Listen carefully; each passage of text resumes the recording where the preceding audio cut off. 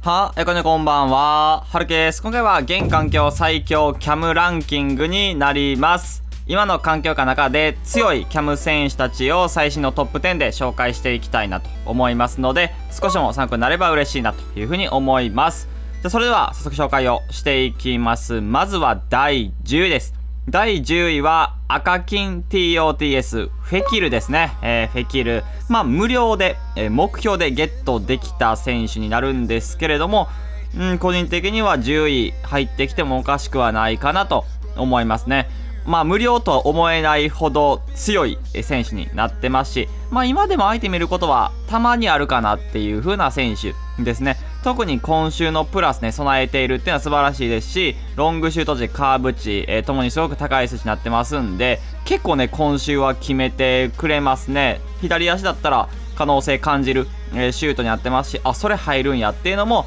たまに決めてくれることありました。で普通にペースもね速くってドリブルもね軽いと。まあ軽いけどちょっとこうフィジカルがある。体が強い系のドリブルの使用感っていう風な選手ですね。でもちろんテクニカルとかラピッドあの素晴らしい。しパスもねうまくってまあなかなかいいな。あとはコーナーキックとかから得点取りたい方はセッターのプラスねついての素晴らしいなと思いますね。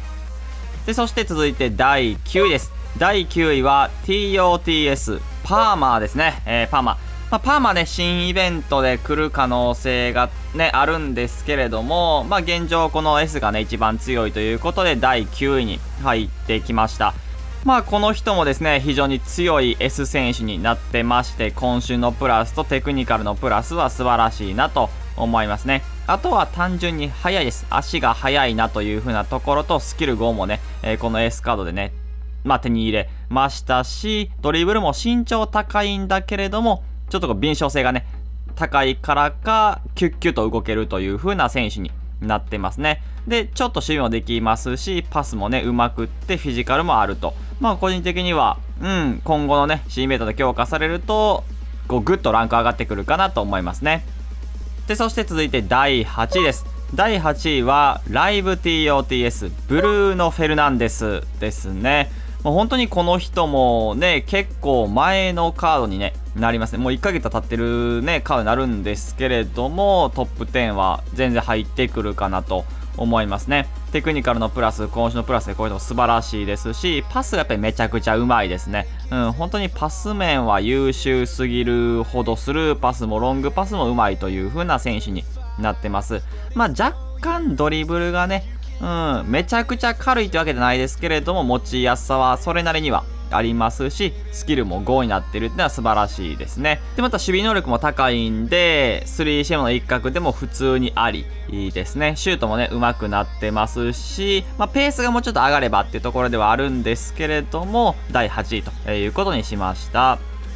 で、そして続いて第7位です。第7位は、フューチャースターアイコン、ジーコですね。ジーコもね、かなり前のカードになるんですけれども、うん、全然強いなというふうに思います。やっぱりもともと55はね、素晴らしすぎますし、能力も普通に高いという風な選手になってますね。特にテクニカルのプラスがやっぱり素晴らしいなと思いますし、プレイスタイル自体は現状ね、すごく少なくなっているんですけれども、能力でね、ある程度補填をね、されているという風な選手になってます。まあ、フィジカルちょっと弱めなんで、フィジカル触られないようにするのがいいんじゃないかなと思いますね。正直それ以外はドリブルも軽いし、スピードもまあある程度あるし、シュートも、えーうまくって、パスもね、うまいんで、現状もね、普通に通用する選手になってます。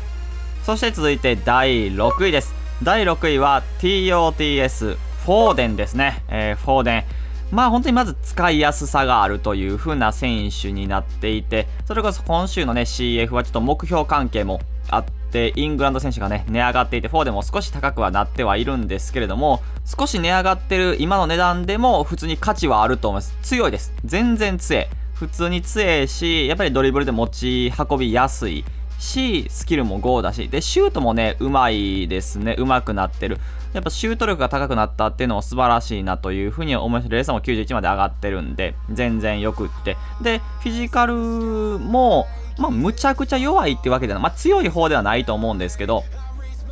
ですけど、まあ、そんなに簡単に負けないっていう力を持っていて、ペースもあるし、で、今週テクニカル、えーあとは敵高のプラス全部ね結構いいものかなと思いますんで個人的には第6位ということにしてます。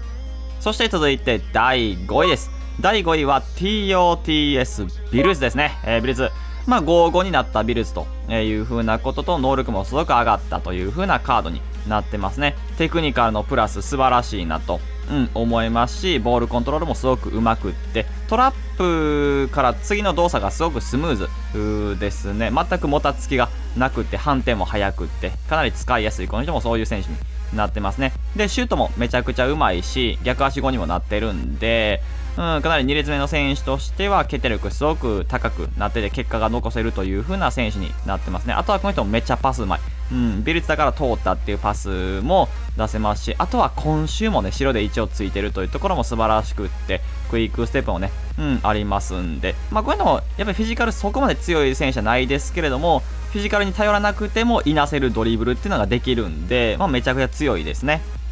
そして続いて第4位です。第4位は TOTS ムシアラですね。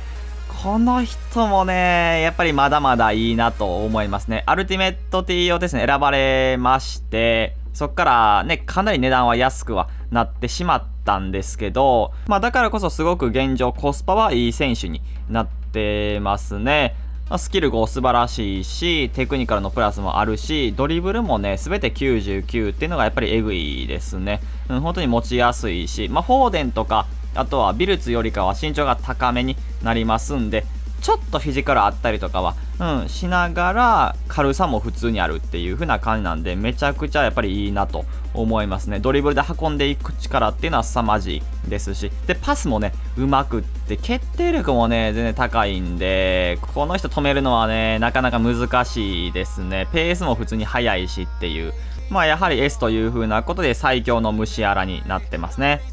そして続いて第3位です。第3位は、グレイツ・オブ・ザ・ゲームからハジですね。えー、ハジ。ハジはね、かなり強くなりましたね。バースデーの SBC から、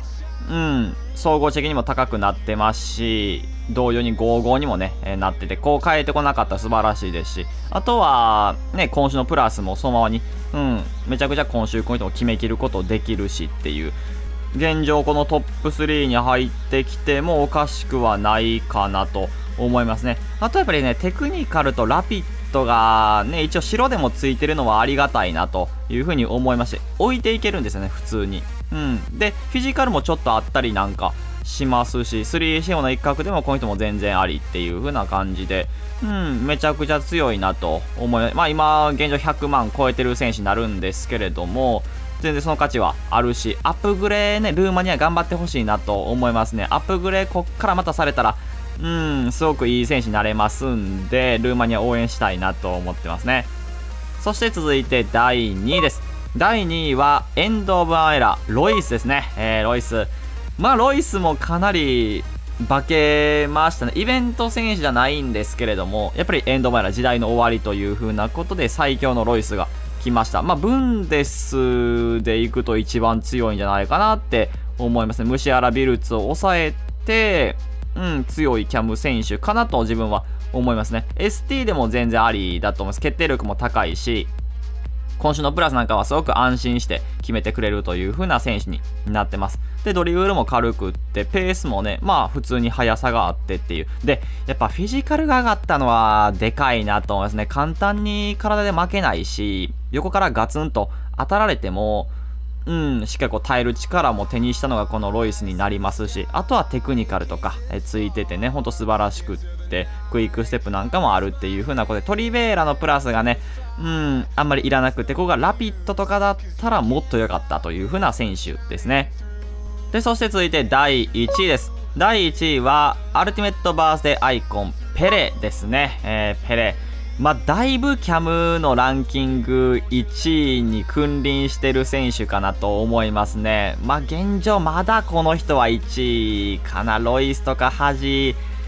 よりも理不尽さはまだ感じるかなという風なところですね。まあ、やっぱりドラフトとかでね、久しぶりに使うと、あ、最強やなって思いますし、何でもできるんですよね。本当に何でもできる。もちろんそのフィジカルだけで見るとロイスの方が強いかなって思うことはあるんですけどただやっぱ55でテクニカルの推進力っていう風な部分もあってやっぱこれもラピッド白でついてるからなんかなって思ったりしますし運んでいく力もねあって軽さもある。その細かさがえぐいしで今週もあるシュートもね決めてくれるしパスもめっちゃうまくってペースももともと95あるんでうんほんとまあ完璧というかバースデー期間に来たんだけれどもまあ現状個人的にはまだ1位なんで最後までね使える選手かなと思いますね。